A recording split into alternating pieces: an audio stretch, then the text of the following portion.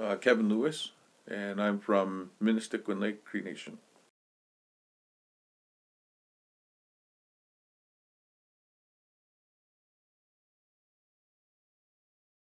So the resource that we're developing is uh, one is a case study, and it's a case study of the uh, the Cree immersion school, and then also the the Kaniyasihk culture camps and how they work together. But the focus was um, was uh, based on what the parents are wanting, and what the uh, and then also what the what the students want.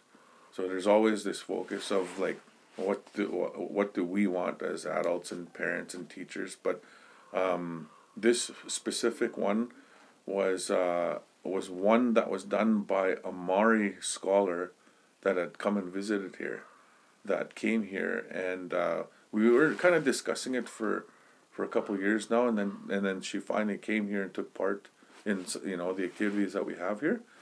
And then she in, interviewed the children and uh, all the all the students that wanted to be interviewed, um, she collected data that way, and then she talked to a couple of the the parents as well, and then she also talked the to the elder, and then also the principal, and then also myself, and her name's Doctor Melanie Riwai-Couch, so she's um, she's from Christchurch originally from the Ngāi Tahu tribe, and uh, she came here and spent uh, you know, a, a, little bit of time. Twice actually, she came to, to Canada and uh, shared what they were doing over there, and then hosted us over there four times. So there was there was a little relationship building there that we were doing from our nation to what the amazing things that they're doing, and then we kept on asking her to see, okay, well, would you be kind of like an external reviewer? And then we kept on asking about like okay what type of what type of assessments do you guys do to mark your progress in terms of the Maori language and then um, she was a at the time she was a principal of a Maori school that we went to go see a multiple times. And then her children are fluent in Maori so it was like kind of like somebody that walks the talk you know? And then that's exactly who we wanted to do the case study on our school. So it's kind of like a um, a case study slash uh, assessment on the entire program, and the way she wrote it was beautiful. So it's in draft mode right now, but we're so close to having it available for everybody to see, and it'll be available through our website, and then maybe I'll link it to you know this this project.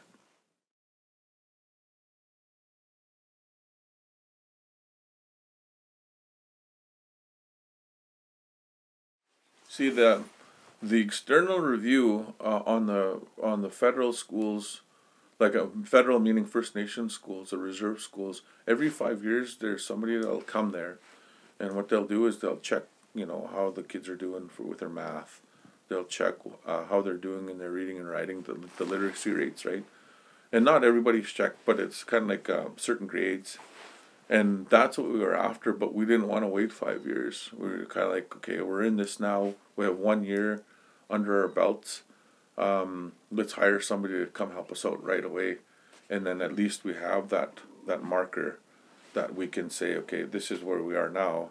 And then you know maybe uh, a couple years down the line we'll do even a, a different type of assessment right? And then something that we're kind of working on congruently right now with, with the case study. So I think the case study was sort of like that, the snapshot, and the snapshot is um, coming from not my perspective, but it's important to see the work that she has done over there and with her people in their in their country, and then for her to come sort of look at what, you know, and and then look at us, and sort of empower us as well because she she really liked what she saw, and the way she wrote it was also very intelligent because, um, like I said, it, it came from the children, and then it didn't come from the administration, it didn't come from the teachers, it didn't come from the school board, it came from the elders, and then also the parents what they wanted and wished, and then also assessing the kids on what you know how does Cree make you feel you know? And those type of um, reflections in that context is in in the writing there.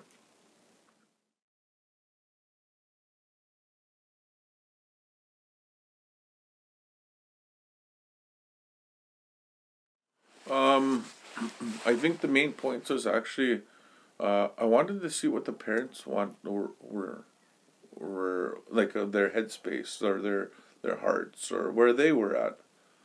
But also, more importantly, I wanted I was so curious to see what those kids are saying. You know, um, last year we did this exercise, and I think we took this from like a Montessori type of uh, exercise where they assess kids, but it was different from the way you know the regular schools assess kids. Regular school assess kids is they, they would they would say, uh, well, this is um, this is Kim, and Kim, this is her problem, and this is also her problem, and this is her problem, and then you know that type of assessment, then you know this is what we should do. It's really good at doing that, but uh, what I wanted to do and we wanted to do was I was curious on what their strengths were, because they're they all there's these multiple intelligences, and I was it was small enough group that you could do uh, individualized education programs, but based on their strengths. Like if they loved singing, well, get them singing, you know or if they were artists, well, let's build the you know the artist and design side of them. So I think that's what my curiosity was as a researcher, an indigenous researcher, but also a parent. You know, a parent that has my my kids are in there. So I, in a way, I'm invested in there uh, wholeheartedly from that side, but also what I saw in Europe, or uh, yeah, actually Europe, uh, in Sweden. Um, what I saw in Hawaii, in Peru, and also in Australia and New Zealand. I saw that, you know, and I thought, well, geez, you know, they're doing it. Let's do it here, you know. And we we've tried it a couple times in the bigger school as well. This is not this was not an overnight thing. This took us probably about ten years to sort of really develop it. Actually, a lot longer, but I'm just going to say 10 years.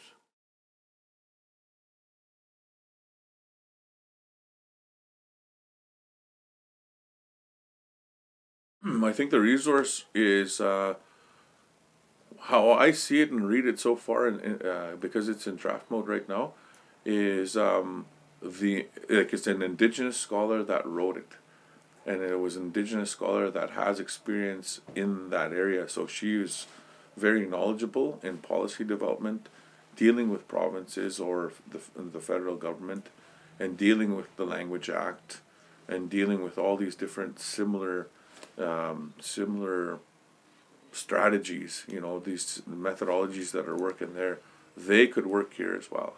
So I think that's the benefit.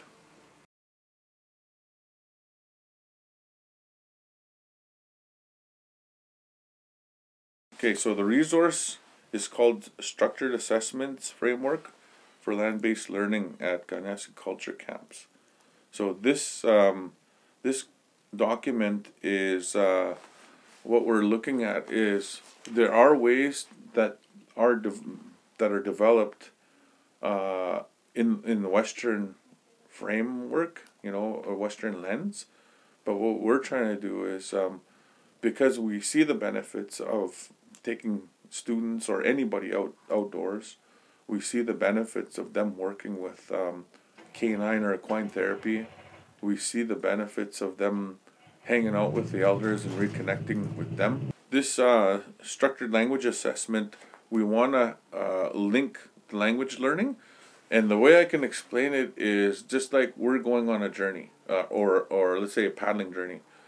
And uh, we're paddling, and then we get to a certain point, and we put a marker down and then we just keep on paddling and once in a while we can kind of look back and we also always can paddle back to that first marker if we get kind of lost but it's always constantly marking along this journey so that's basically the framework of this model and it's indigenous in nature Um, it's uh, and I don't want to. I don't want to always say like we made this here.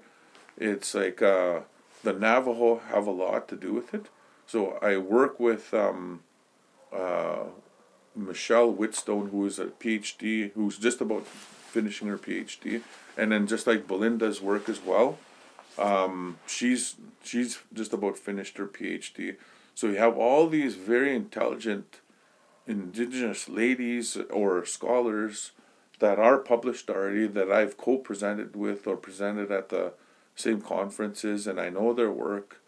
Um, those type of people are change like they're changing policy. They're changing um, the way we do things, ass- developing assessment tools that work for us uh, because we know our kids and we know um, you know where the the issues are we know where they come from we know the language we can communicate with them so it makes like all those make it so much more easier so you're not forcing uh, uh, an assessment or a program on somebody when it's developed from from the community like that but again we had to go through the university to understand these assessments or to understand these frameworks. So it's helpful to go that route. Um, so you know and you understand um, how to communicate in that academic world, but then also to know those pipe teachings, to know those medicines, to know how those protocols that that you saw, you know, even this morning, uh, to understand that, um, you know, why the woman's pipe and the man's pipe were taught but then to flip on this side to say, oh, okay, you know, let's talk about mental health because there's this, there's this Gabor Mate that's saying something really interesting about mental health and uh, the trauma, you know, that's if not dealt with, uh, eh, you know, eventually it will alert, uh, you know, it'll lead to addictions. Or Bruce Perry, Dr. Bruce Perry, and they're both doctors uh, talking about um, mass trauma, you know, um, what suicide does to communities, and then how to heal communities, you know. So th- these type of people and their research and their uh, resources that they develop, I'm hoping this is what this is, because this is all locally developed, but with the help of us learning how to do that type of research and then also to connect those important um, important people that are doing that work right now. You know. The resource development, uh, we we needed a resource that would keep us um, sort of in line to keep with a mandate from the elders. We needed a place where we not to veer too far into that academia side, but also just the you know the two-eyed seeing, I guess is is how I would say it, and um, and then also uh, the parents wanted their kids just to be as literate, but they also saw the benefit of keeping uh, the language and culture within uh, the programming. So we needed to find ways to assess that development on both sides because if you go to the school, you'll see SRO, which is standardized uh, standard Roman orthography, but you also see syllabics, and then there's a little bit of English here and there, but you you still see Roman, you know, uh, which is the standard Roman orthography. Both are beneficial because um, you can teach literacy. We spent a lot of time researching balanced literacy as well. So that's that's uh, another thing there too that I want to stress, and then also cult- having culturally relevant uh, curricula is another buzzword to understand uh, the effects of decolonization or colonization, and uh, to understand what decolonization also is, and then um, also we when you first walk into the school you'll see also the the treaty flag there. And um, so we do a lot of treaty teachings as well to understand the relationship um, to our to the lands, uh, to our all our relatives that I was saying, and then also um, there was there was another chapter that's going to be a part of this assessment, and it has to deal heavily with mental health. Um, mental health is on the rise right now, and uh, a lot of the teachers that are coming out need a place to to learn about that, especially how to take students out in a safe manner.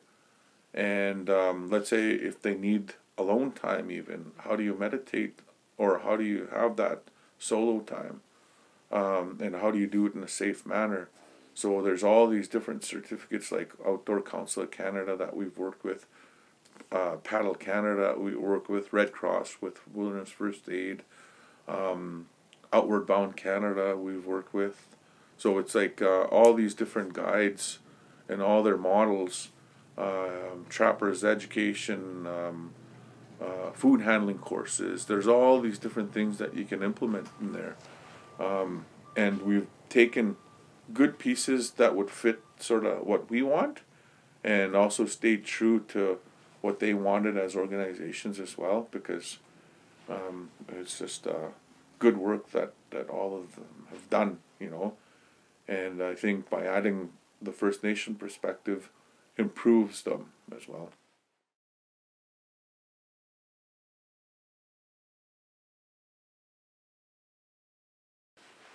It helped us shape, and it's helping us shape the curriculum. Because we're in year two, and then what's different about the school here is we've we've opened the summer up to be part of the school, so which means uh, you know we take a little longer breaks here and there, but also um, let's say if there's a powwow or a ceremony on the weekend, we'll take that powwow and we'll take our students there to go dance, and then that's phys ed, that's uh, native studies, that's um, history, that's you know th- so those components are are part of that. Uh, so that's that's a huge difference, um, and then also. Uh, we like to travel. We like to move. You know, um, we like to create those uh, to visit other places, other First Nations. Um, I think in the future here we'll be going out straight down to Chapways um, to go visit them and take part in their hockey academy.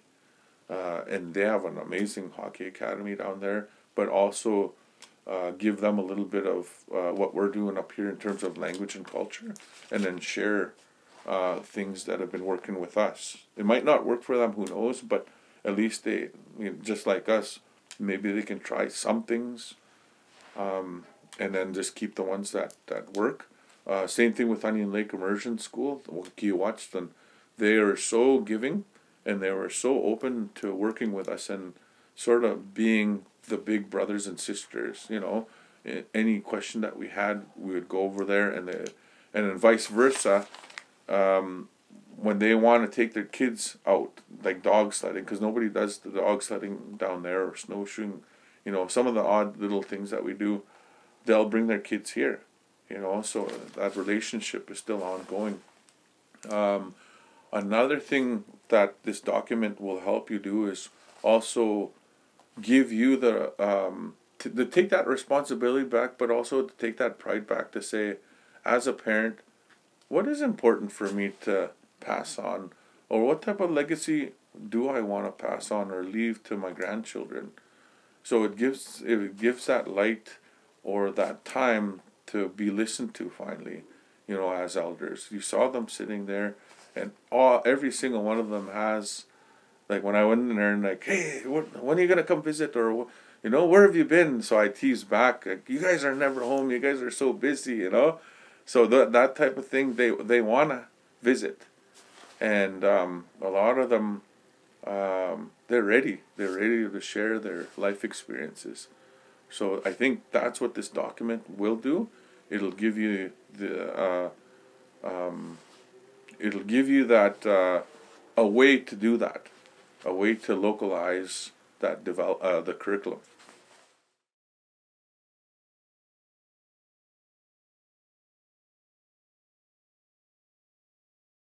Treaty like we we work with the office of the treaty commissioner, And then in teaching treaties, uh, because they they've been mandated by the province to teach in every school in the province, um, it it helps us because we really respect the treaty, and um, we try to we try to share that in like we teach out of the kit. You know, they develop an amazing kit from kindergarten to grade twelve, and with all the resources that are in there, it's really well done. Um, I think that's what that's what those two documents that we've developed here, like that are that we're going through, um, like our our hands right now and our minds and our hearts, is that uh, uh, those two together will give the possibility of other camps or other schools or communities if they want to do that as well try it out and i still don't know like i know they're going to be tools at the end right? But how much impact would they have to somebody that's kind of like starting where we're just starting you know? Um, those assessment tools they have to look a little different as well because of the complexity. Like mental health is really really big. And then also poverty uh, is a really big big one as well. So how do you stretch um, something that's stretched already you know in, in a positive way or in a way where uh, it it'll work and function. So it, it's it's complex like that but that's kind of like the going back to the Wisagi check and the wolf it's it's like an adventure right?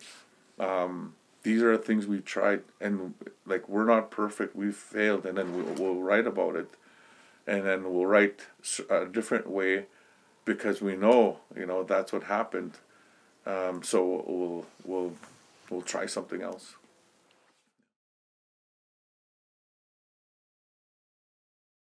There was an, a new one that just came out and it was just published by springer and it and it was uh, it had to do with teacher education programs, uh, and I think it was geared towards indigenous teachers around the world, and Onowa McIvor and her husband, and then there was another one that put out the call, and they have everything in there from curriculum to teacher education programs to um, camps like this yeah, so we we actually got published in there, and I think I'm sure Belinda's got her chapter in there as well, and uh, Heather Blair out of CILLDI has a chapter in there with her team as well. So there's a lot of different language scholars that have been in the game, just not in Canada, but in the states, and then also uh, internationally. So it's really nice to that. That's one I like.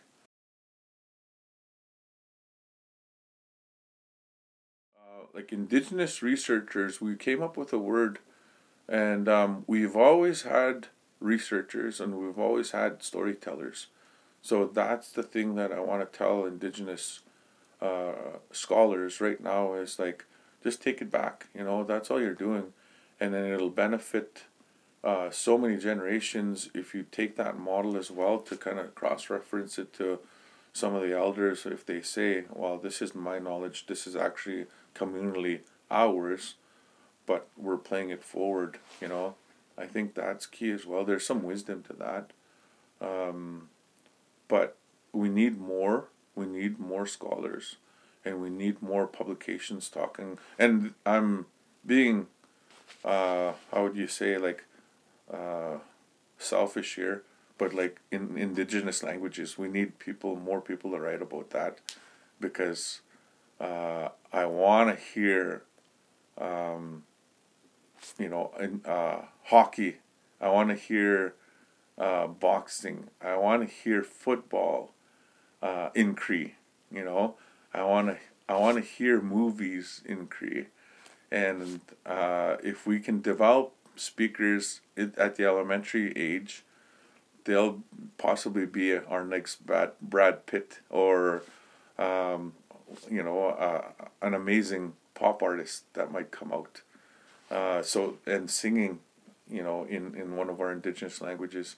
So that's the key is to develop them, and then when they're older, uh, who knows what they can become? You know, now they're they're speaking in Ottawa. I heard Cree, and I, I've translated in Cree.